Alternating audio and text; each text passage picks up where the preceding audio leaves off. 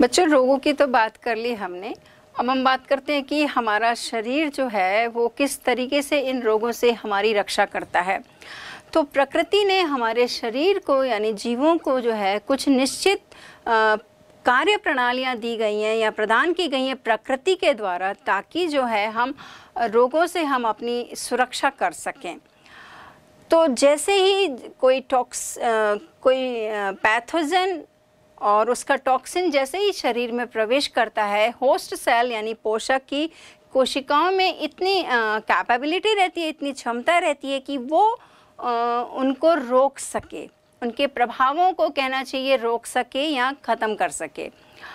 और ये जो भी होता है, वो एक तंत्र के ज़रिए होता है, यानी ये जो कहलाता है, वो प्रतिरक्षा कहलाता है और इसमें एक तंत्र है, वो है प्रतिरक्षा तंत्र, यानी इम्यून सिस्टम है।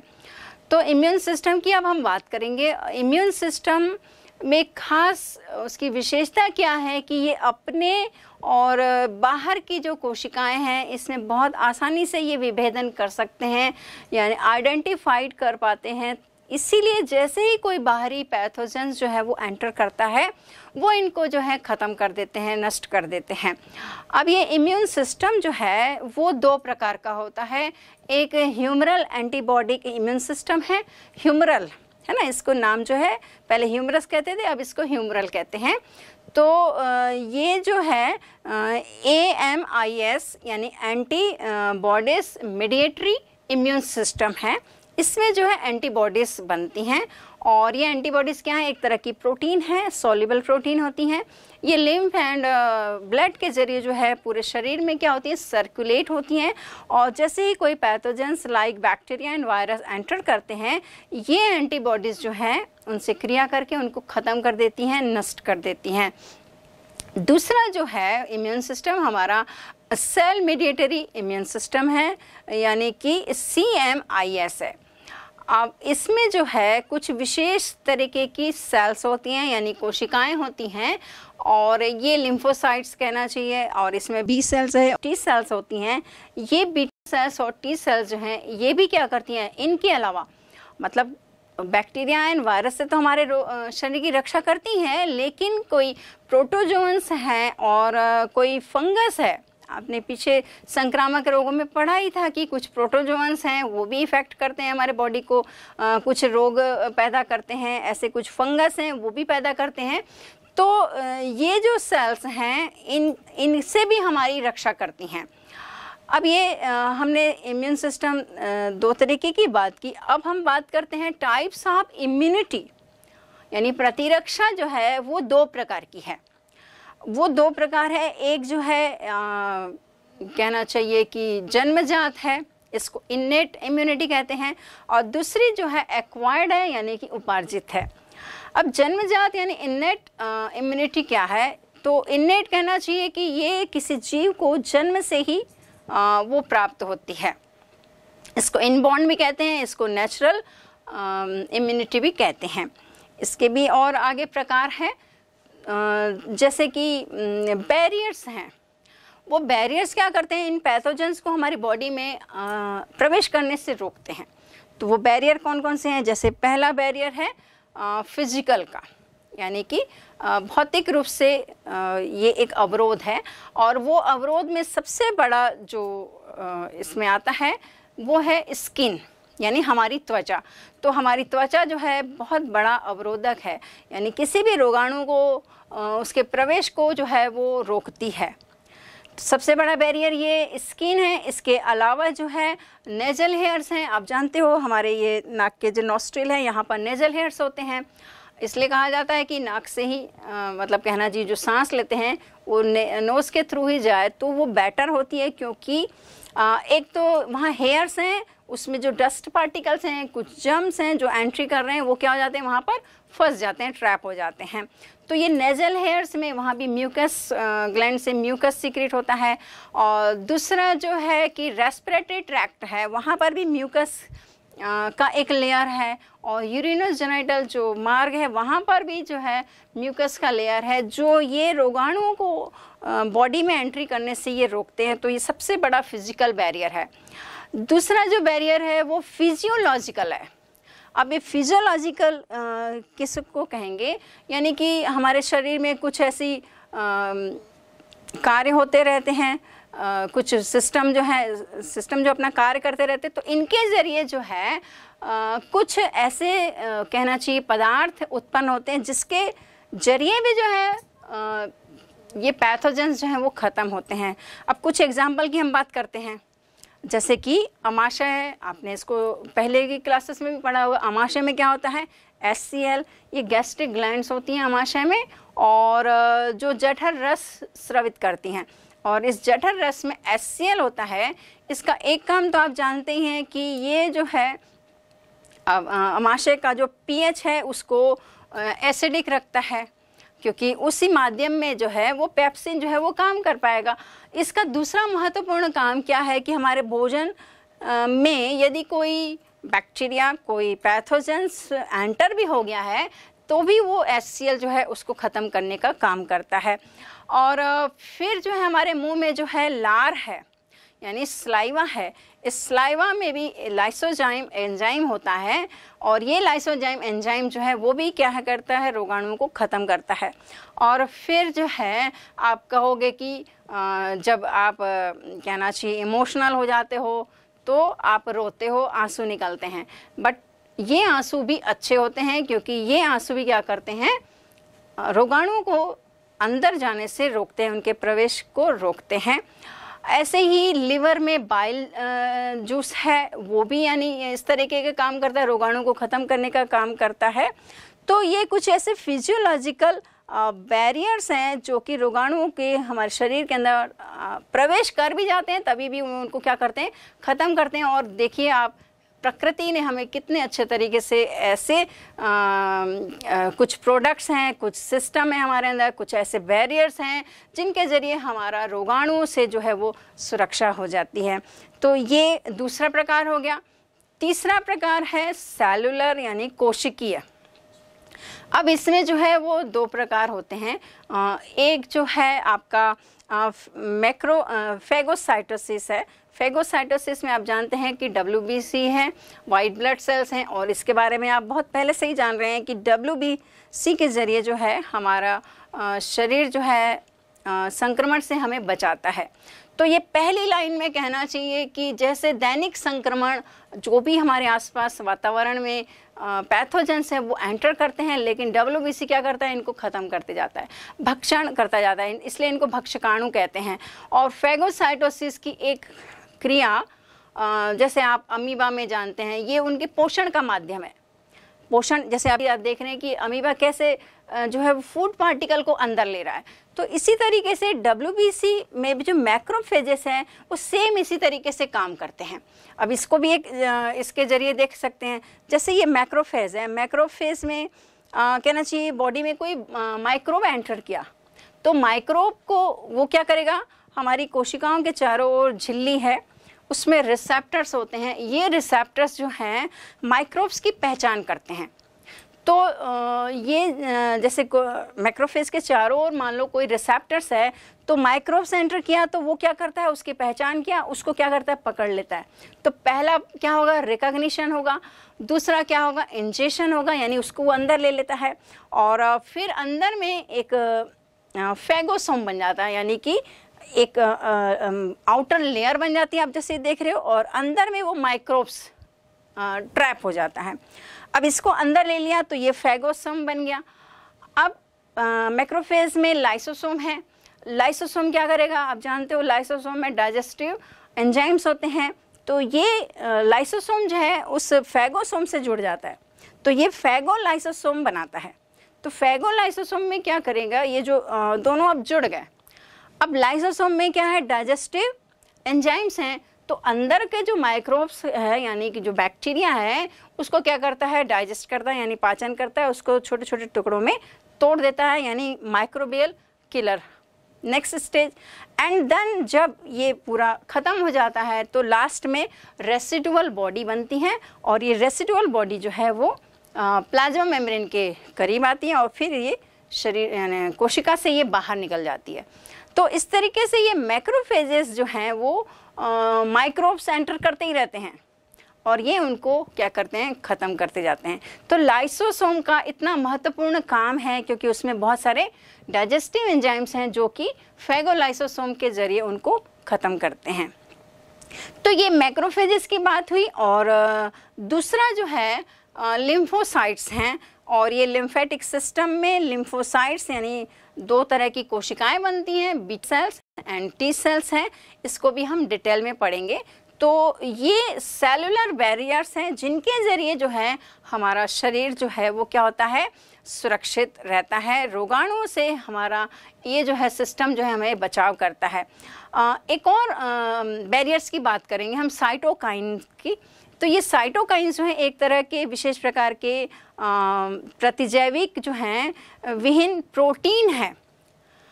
वायरस में जो है इंटरफेरॉन होते हैं। अब ये जैसे आप पिक्चर देख रहे हो कि जैसे आ, वो वायरस को एंटर कराया गया तो उसका जो आउटर लेयर है वो डिजॉल्व हो जाता है और उसका जो जेनेटिक मटेरियल है वो अपनी आ, मतलब कॉपीज़ बनाता है। तो वो इंटरफेरॉन वही होते हैं और वो आ, प्रोटीन होते हैं। अब इस तरीके के या इससे यानी ज़्यादा प्रभाव वाले यदि वायरस एंटर करते हैं या अटैक करते हैं तो ये वाले प्रोटीन इंटरफेरन जो है वो उनको ख़त्म करते हैं, यानी नष्ट करते हैं। तो इस तरीके से एक चौथा बैरियर है साइटोकाइंस। तो ये अभी हमने जो बात की, ये टोटली इन्नेट इम्यूनिटी की बात की, यानी ये जन्मजात ये क्वालिटीज़ हैं जो हमको ये मिलती है बाय बर्थ मिलती हैं या आ, कहना चाहिए कि ये जेनेटिकली जो है वो मिलती है।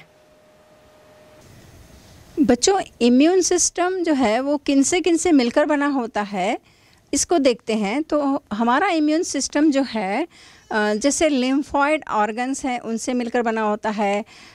कई प्रकार की कोशिकाएँ हैं, उनसे बना होता है। कुछ टिश्यूज़ हैं, यानी उत्तक हैं, उनसे बना होता है। और कुछ सॉल्युबल मॉलिक्यूल्स हैं, इनसे बना होता है। अब ये जो इम्यून सिस्टम है, ये जो है जो लिम्फॉइड ऑर्गन्स है, उसमें लिम्फोसाइट्स बनती हैं। तो ये लिम्फोसाइट्स जो है, वो दो प्रकार की होती हैं।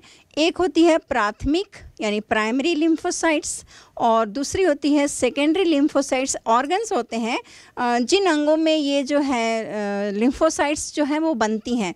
तो जैसे कि प्राइमरी लिम्फोसाइट्स ऑर्गन्स हैं, वो क्या है? वो बोन मैरो है और है थाइमस और जो सेकेंडरी लिम्फोसाइट्स ऑर्गन्स है, जैसे आप ये देख रहे हो इसमें स्प्लीन आता है और लिम्फ ग्लैंड्स हैं टॉन्सिल है ईलियम है और अपेंडिक्स है।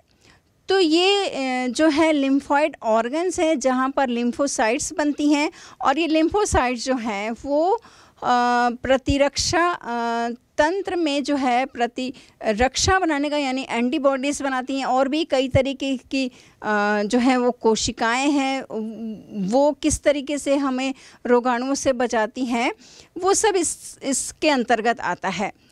तो इससे पहले जो है हमने इन्नेट इम्यूनिटी की हमने बात कर ली थी यानी जन्मजात जो प्रतिरक्षा है इम्यूनिटी है वो क्या होता है? जन्म से ही बच्चे को यानी जीव को जो है वो मिलती है। अब दूसरी जो है उसका क्या प्रकार है? वो एक्वायर्ड है। एक्वायर्ड का मतलब होता है उपार्जित।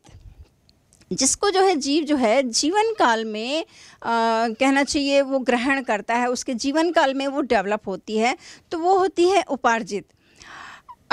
जब कभी भी जीव में पहली बार कोई पैथोजन या रोगाणु जो है वो प्रवेश करता है, तब जो है हमारी बॉडी जो है लो इन इंटेंसिटी की जो है रिस्पॉन्स रिएक्ट होती है।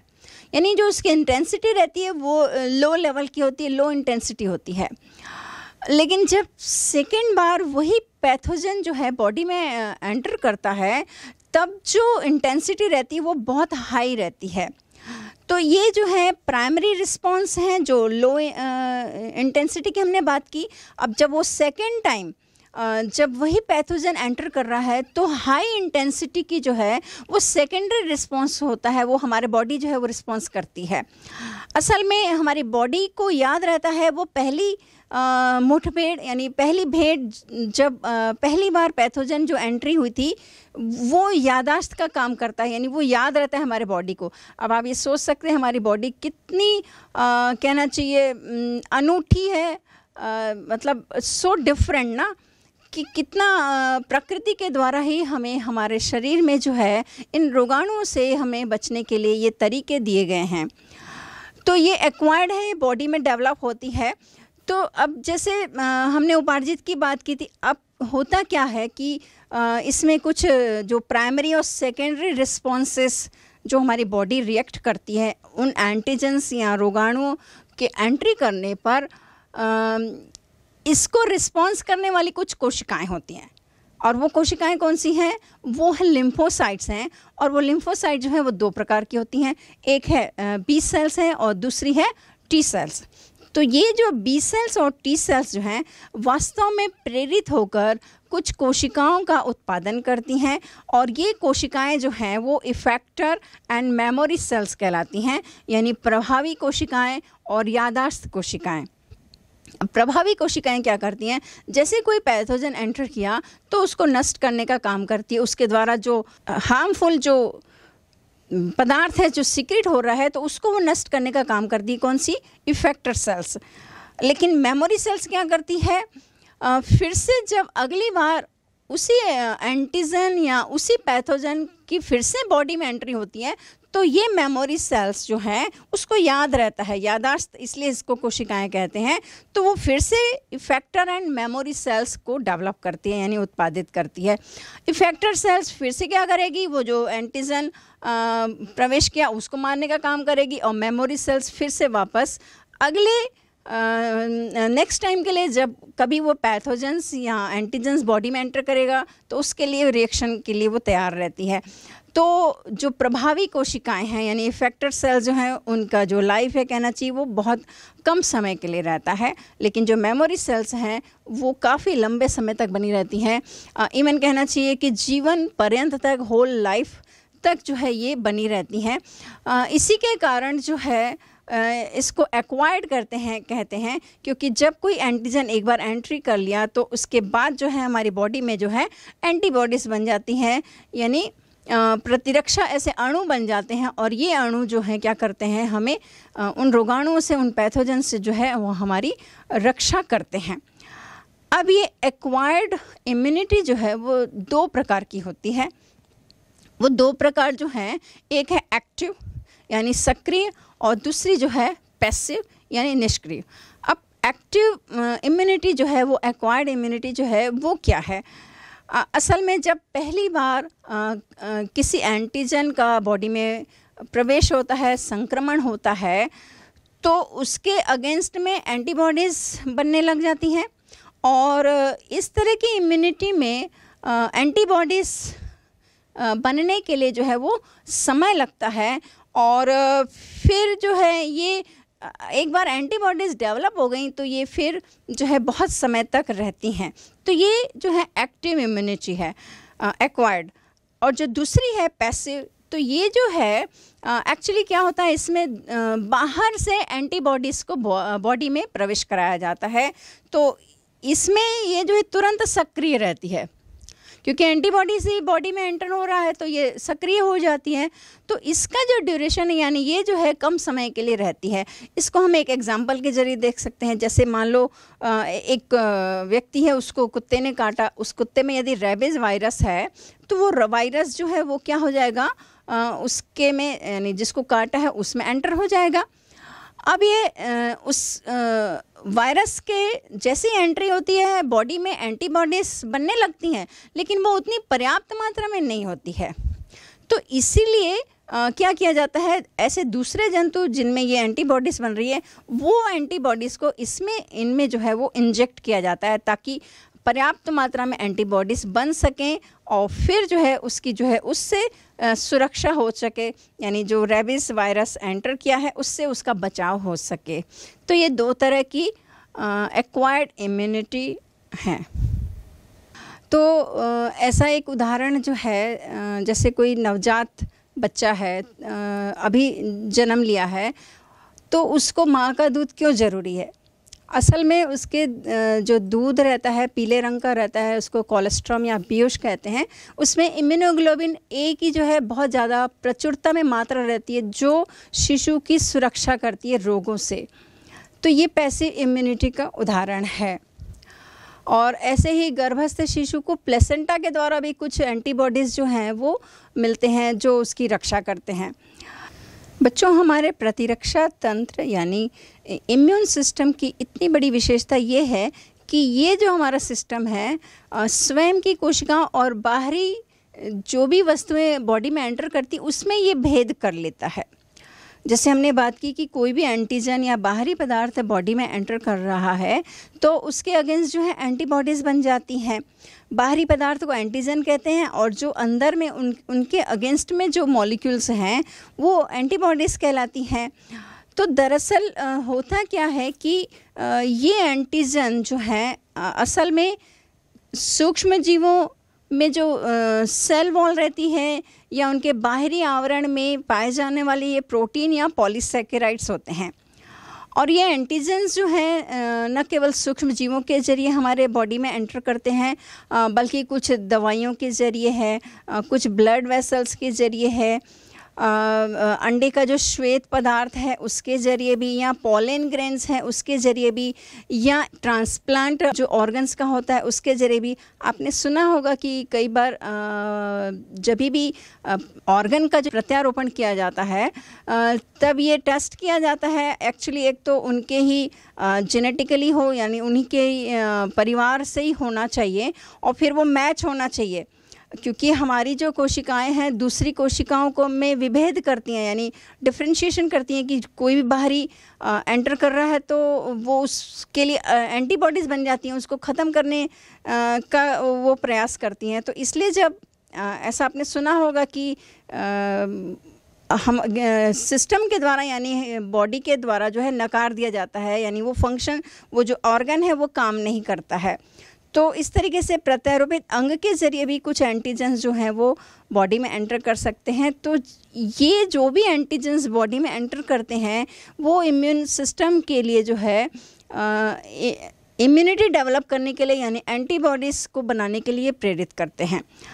अब जैसे हमने बात की जो ये एक्वायर्ड इम्यूनिटी है, वो लिम्फोसाइट्स के ज़रिए दो प्रकार की कोशिकाएँ हैं एक बी सेल्स है और एक टी सेल्स है उसके ज़रिए जो है वो डेवलप होता है। तो ये बी सेल्स जो हैं वो आ, क्या हैं टी सेल्स क्या हैं इसके बारे में अब हम लोग जानेंगे चर्चा करेंगे उसके बारे में। तो ये बी सेल्स और टी सेल्स जो हैं जब एम्ब्रियोनिक स्टेज रहती है यानी भ्रूणी अवस्था में ये लिवर में बनते हैं। लेकिन वयस्क अवस्था में जैसे आप ये देख रहे हो बोन मैरो में ये बनते हैं। दोनों बी सेल्स और टी सेल्स अब ये सेल डिफ्रेंशिएशन के समय होता क्या है? आ, जानते हो आप लोग कोशिकीय क्या होता है? पर, आ, मतलब विभेदन होता है। भ्रूणी अवस्था में अलग अलग कोशिकाएँ जो है अलग अलग अंगों का निर्माण करती हैं। तो कोशिकीय विभेदन के समय जो लिम्फोसाइट्स क्योंकि ये बी और टी सेल्स जो हैं क्या हैं? एक तरह की लिम्फोसाइट्स हैं। और लिम्फोसाइट्स क्या हैं? एक तरह की वाइट ब्लड सेल्स हैं तो जो लिम्फोसाइट्स थाइमस में प्रवेश कर जाती है, यानी थाइमस ग्लैंड में जो प्रवेश कर जाती हैं, वो लिम्फोसाइट जो है, वो बी सेल्स बनाती हैं। अब इन दोनों में अंतर क्या है? बी सेल्स जो है, वो एंटीबॉडीज़ का निर्माण करती हैं, और जो टी सेल्स हैं, वो कोशिकीय प्रतिरक्षा के लिए वो जिम्मेदार होती है। अब ये बी सेल्स जो हैं, ये बी सेल्स किस तरीके से इनका एंटीजन के प्रति जो है वो रिएक्शंस होता है, यानी उनकी रिस्पॉन्स होती है, उसको देखते हैं तो वो बी सेल्स क्या करती, जैसे ही बॉडी में कोई एंटीजन एंटर करता है, उनके अगेंस्ट में एंटीबॉडीज़ बन रही हैं बी सेल्स बना रही हैं। अब ये बी सेल्स क्या करती हैं क्लोन सेल्स बनाती हैं। प्लाज्मा में क्लोन सेल्स बनाती हैं और ये एक क्लोन सेल्स जो है, लगभग एक सेकंड में 2000 एंटीबॉडीज़ का निर्माण करती हैं। ये एंटीबॉडीज़ का डायग्राम किस तरीके का है, उसकी भी हम आगे बात करेंगे। तो ये इस तरीके से आप देख रहे हो सेकंड में जो है, कितने सारे बॉडी में एंटीबॉडीज़ बन जाते हैं। तो इसीलिए तो जब कभी भी बहुत ज़्यादा मात्रा में कोई भी एंटीजेंस बॉडी में एंटर कर रहा है या कोई रोगाणु प्रवेश कर रहा है तो हमारा इम्यून सिस्टम जो है बहुत एक्टिव हो जाता है। पी सेल्स क्या करती हैं? उनको इस तरीके से पकड़ती हैं। कहने का मतलब जो भी एंटीजन है, उसको इस तरीके से घेरती हैं उनकी पहचान करके, और फिर जो है फेगोसाइट्स जो है, वो उसको जो है नष्ट करते हैं। तो इस तरीके से ये काम होता है। बी सेल्स कैसे करेंगे? आइडेंटिफाइड करेंगी। उनके एंटीजन्स के बाहरी आवरण में जो मतलब अलग तरीके का जो प्रोटीन है, जो पॉलीसेकेराइड्स है, उसका आइडेंटिफिकेशन करती हैं और फिर उसको ऐसा घेर लेती हैं, आवृत कर लेती हैं कि फेगोसाइट्स जो है उसको नष्ट करता है। अब हम mechanism of action of T cells to antigen की बात करते हैं, यानी टी सेल्स जो है, वो किस तरीके से एंटीजन पर रिएक्शन करती हैं, उनका एक्शन किस तरीके से होता है? तो टी सेल्स भी क्या करती हैं, वो क्लोन सेल्स बनाती हैं और वो पेरेंट सेल के समान ही होती हैं। टी सेल्स जो हैं वो कार्य के अनुसार जो है वो अलग अलग प्रकार की होती हैं। यानी है तो वही, लेकिन उनका प्रकार जो है सेल डिफ्रेशिएंट के समय जो अलग हो जाता है। कुछ मारक, यानी किलर सेल्स होती हैं, कुछ हेल्पर सेल्स होती हैं, कुछ सप्रेसर सेल्स होती हैं। तो जैसे पहली जो है मारक सेल्स हैं, यानी किलर सेल्स हैं, ये किलर सेल्स क्या करती हैं? जैसे कोई एंटीजन एंटर करता है तो ये सीधे उसको जो है, यानी उसका जो हार्मफुल जो प्रोडक्ट्स हैं या जो पॉइसन है उस टी सेल जो है, इस तरीके का रसायन सिक्रेट करती है, ताकि वो उससे अट्रैक्ट हो जाता है और जो है उस पर वो काम करती है, यानी उसको ख़त्म करने का काम करती है। किलर सेल्स यानी मारती है। सप्रेसर सेल जो है वो क्या करती है कि जैसे कि अपना जो इम्यून सिस्टम है, अपनी ही कोशिकाओं को मारने के लिए, यानी ऐसा ना हो कि हमारी ही कोशिकाएँ, यानी जो एंटीबॉडीज़ हैं, वो हमारे ही अंदर की सेल्स को ख़त्म करें या नष्ट करें। तो इसके लिए जो है वो सप्रेसर सेल्स होती हैं, वो सेव करती हैं हमारे इम्यून सिस्टम को और हमारे बॉडी को। और तीसरी जो है वो हेल्पर सेल्स हैं, ये हेल्पर सेल्स जो है, वो बी सेल्स को, यानी जो हमने बात की थी कि बी सेल्स जो है लिम्फोसाइट्स है, वो कई तरह के एंटीबॉडीज़ बनाती हैं तो ये बी सेल्स को एंटीबॉडीज़ के निर्माण के लिए जो है, वो प्रेरित करती है। तो ये इस तरीके से टी सेल्स जो हैं, वो काम करती हैं। अब हम बेसिकली बात करते हैं कि एंटीबॉडीज़ जिसकी हम अभी इतनी बार चर्चा कर चुके हैं, ये एंटीबॉडीज़ हैं क्या? इनका स्ट्रक्चर क्या है? इनका काम क्या है? ये जो है मोनो स्पेसिफिक होती हैं, यानी कि कोई भी एंटीबॉडीज़ जो है स्पेशली जो एंटीजन होता है, उसके लिए ही वो रिस्पॉन्स करती हैं। यानी उसके ही स्पेसिफिक रीजन से यानी डिटर्मेंट्स जो है, उससे वो जुड़ती हैं और उस पर वो काम करती हैं। अब एंटीबॉडी का जो स्ट्रक्चर है, वो क्या है? अब जैसे ये देख रहे हो, ये एंटीबॉडी का स्ट्रक्चर है। इसमें जो है चार चार पॉलीपेप्टाइड चेन्स पाई जाती हैं यानी श्रृंखलाएँ पाई जाती हैं। पॉलीपेप्टाइड आप जानते हो क्या होता है? ये प्रोटीन होता है तो आ, प्रोटीन जो है ये पॉलीपेप्टाइड की चेन्स हैं। तो आ, जो और ये दोनों चेन्स जो हैं डाई सल्फाइड आप ये देख रहे हो डाई सल्फाइड बॉन्ड से जुड़ी हुई हैं। इसमें से दो चैन जो है, यानी दो श्रृंखलाएँ हैवी मॉलिक्यूल्स हैवी वेट वाली रहती हैं और दो जो हैं लाइट रहती हैं लाइट चेन्स होती हैं। अब इसका क्या मतलब है? तो जो हैवी चेन्स हैं, यानी कि भारी जो श्रृंखलाएँ हैं, उनमें जो अमीनो अम्ल की संख्या है वो ज़्यादा होती है। मतलब इसमें जो है 400 या 400 से ज़्यादा एमिनो एसिड जो है वो पाए जाते हैं। अब ये जो आप वाय आकार की संरचना देख रहे हो, इसमें जो नीचे जो सीधी है, सीधी जो भुजा है, इसमें जो है हैवी चेन्स रहती हैं, यानी कि भारी श्रृंखलाएँ होती हैं। और ऊपर जो दो भुजाएँ हैं, उसमें लाइट और हैवी दोनों प्रकार की श्रृंखलाएँ होती हैं। तो इस तरीके से ये एंटीबॉडीज़ हैं।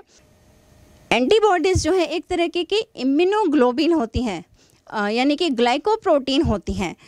ये सभी एंटीबॉडीज़ जो है इम्यूनोग्लोबिन होते हैं लेकिन सभी इम्यूनोग्लोबिन जो है वो एंटीबॉडीज़ नहीं होते हैं। इसलिए हमने ये पाँच प्रकार के इम्यूनोग्लोबिन की बात की। अब ये इम्यूनोग्लोबिन जो है वो आ, कौन कौन से कहाँ पाए जाते हैं? जैसे पहला आईजीए है ये जो है लार में है आँसू में है और पसीने में पाया जाता है। और दूसरा आईजीडी जो है, ये लिम्फोसाइट्स में पाया जाता है। और तीसरा जो है आईजीई है, ये ब्लड में पाया जाता है। और चौथा जो है, वो सिरम में पाया जाता है। और पांचवा आईजीएम जो है, वो ब्लड में पाया जाता है। तो इस तरह के ये पाँच इम्यूनोग्लोबिन हैं।